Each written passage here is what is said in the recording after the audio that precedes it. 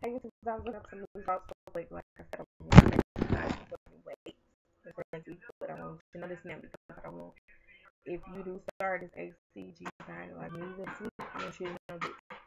Um, I looked up results on it about working out. You can only do like a 15 to 30 minute workout, okay? And that that's what I already do because like I wasn't really pulling in a lot of calories, and you don't want to burn those calories, so you don't do a hard workout.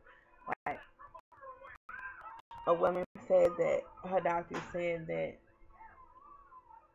like 15 minutes of walking or 30 minutes of walking just to tone your body.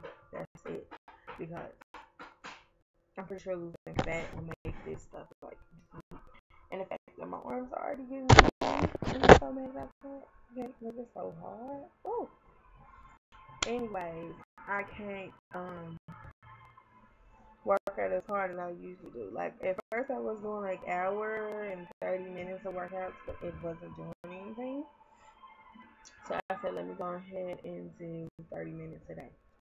And 30 minutes a day seems like that work more than an hour. And okay.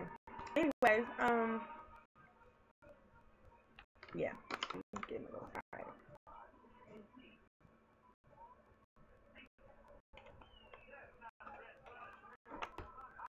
Um, so this little video is gonna be short and sweet. So let me go ahead and end it with that and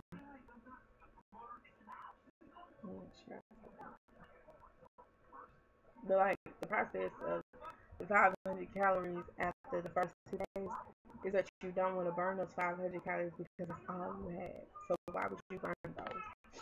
So I understand the walking, so I will make sure I don't sweat as hard or anything. I'll just like walk in the neighborhood with my kids probably three, four times a time up down the street, something. That's how we do it. Um, and I'll let you guys keep updated on the exercise process. And like I said, I'm gonna keep.